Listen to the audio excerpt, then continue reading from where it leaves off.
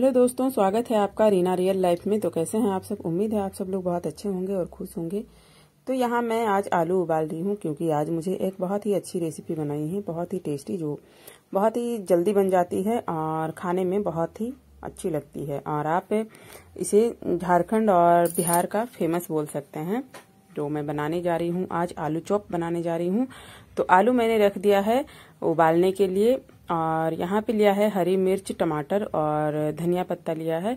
इसकी हम चटनी बनाएँगे। इसमें थोड़ा सा लहसुन डालेंगे और इसकी हरी वाली चटनी बनाएँगे। हरी वाली चटनी के साथ है, आलू चॉप का स्वाद कुछ ज़्यादा ही अच्छा लगता है। तो ये मैंने चटनी के लिए तैयारी कर ली है और ये मसाले मैं कुछ इसमें ऐड करूँगी जो प्याज लिया है और हरी मिर्च थोड़ी सी थोड़ी सी लाल मिर्च ली है लहसन लिया है।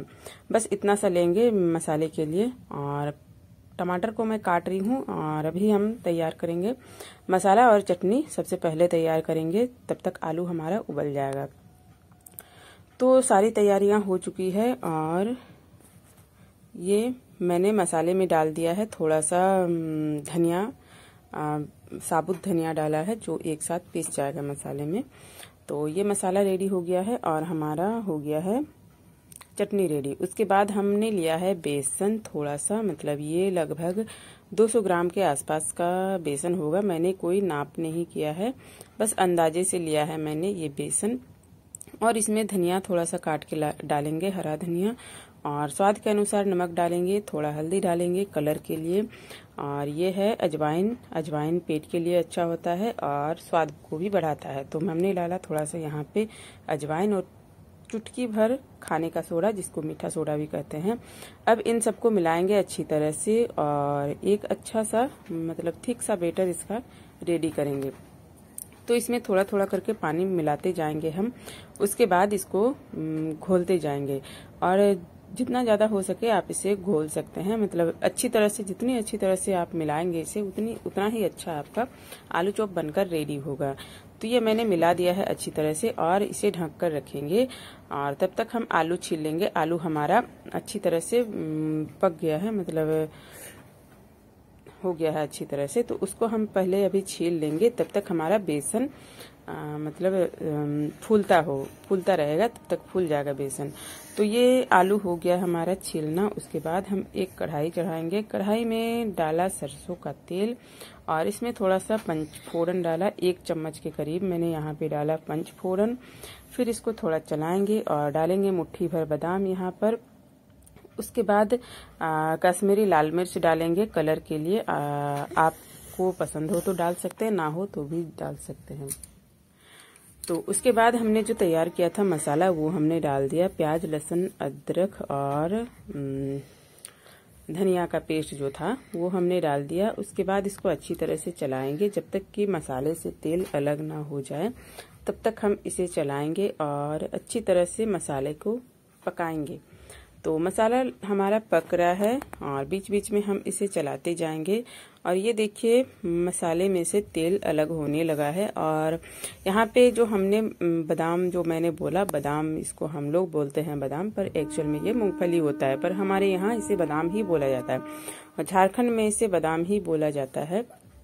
तो मैंने बादाम बोल दिया तो आप ये नहीं समझिएगा कि आ, मुझे नहीं मालूम है मुझे मालूम है ये मूंगफली होता है इसे सिंग दाना कहते हैं मूंगफली कहते हैं पर हमारे यहाँ बादाम कहते हैं। तो ये मैंने डाल दिया उसके बाद आलू डाला है यहाँ पे। आलू जो उबले हुए थे उससे मैंने थोड़ा सा मैश करके डाला है थोड़ा सा उसके बाद इसको इसी इस तरह से अच्छी तरह से मिलाएँगे। आलू को मसाले में बहुत अच्छी तरह से मिक्स कर देंगे। आ, ताकि मसाले में आलू अच्छी तरह से घुल मिल जाए और इसमें डालेंगे स्वाद के अनुसार नमक हम डालेंगे।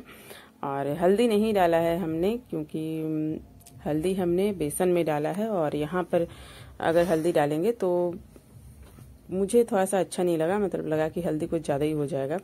तो अगर आपको वो पसंद हो तो आप डाल सकते हैं। कलर इससे, हल्दी से थोड़ा सा और ज़्यादा अच्छा आएगा। तो मैंने नहीं डाला है। तो ये हमारा अच्छी तरह से जो आलू वाला मसाला है, वो रेडी हो गया है और ये मसाला काफ़ी टेस्टी है। और यहाँ पे मैंने डाल दिया लास्ट में हरा धनिया काट के डाल दिया है यहाँ पे। उसके बाद इसको एक अच्छा सा मिक्स देंगे। फिर इसे उतार कर थोड़ा सा ठंडा कर लेंगे। पाँच से सात मिनट तक इसको रखेंगे ताकि ये थोड़ा सा ठंडा हो जाए।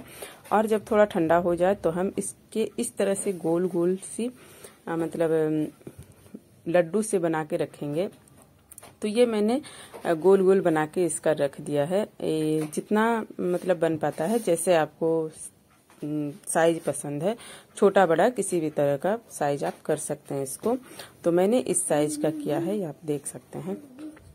तो ये हो गया हमारा सारा आलू मैंने बना दिया गोल गोल सा। उसके बाद मैंने चढ़ाई दूसरी कढ़ाई, उसके बाद यहाँ पे डाला मैंने तेल। और तेल को गरम होने देंगे, उसके बाद गरम जब हो जाए, अच्छी तरह से, बहुत अच्छी तरह से गरम हो जाए तो हम इसका आँच को धीमा कर देंगे थोड़ा सा उसके बाद गोल गोल आलू को हमने डाला बेसन में और चम्मच की सहायता से हम इसे उठा उठाकर तेल में, गरम तेल में डालते जाएँगे। तो आप चाहे तो हाथ से भी कर सकते हैं, पर हाथ क्या होता है कि बार बार धोना पड़ता है। मैंने कटोरी में पानी रखा है इस वजह से कि शायद मुझे हाथ से करना पड़े। तो मैंने चम्मच से उठा के देखा तो ये अच्छी तरह से हो रहा था। तो ये देखिए, हमारा आलू चोप एकदम अच्छी तरह से गोल गोल बना है और इसे धीमी आँच में पकाएँगे, अच्छी तरह से चार पाँच मिनट पकाएँगे ताकि ये अच्छी तरह से पक जाए, कच्चा ना रहे। तो ये देखिए, बनकर पहला बेच हमारा रेडी हो गया है आलू चोप का और ये मैंने उतार दिया। अब इसे, अब हम डालेंगे दूसरी बार इसमें। तो आलू चोप दूसरी बार उतरते उतरते पहला बार का खत्म होने को है अभी।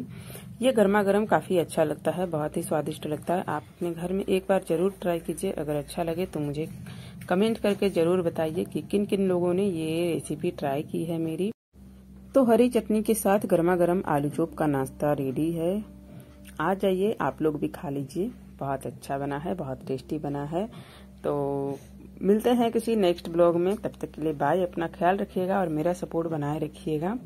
अगर किसी भी तरह से वीडियो अच्छा लगा हो तो प्लीज़ एक लाइक ज़रूर कर दीजिएगा और शेयर कीजिएगा अपने फ्रेंड्स और फैमिली के साथ।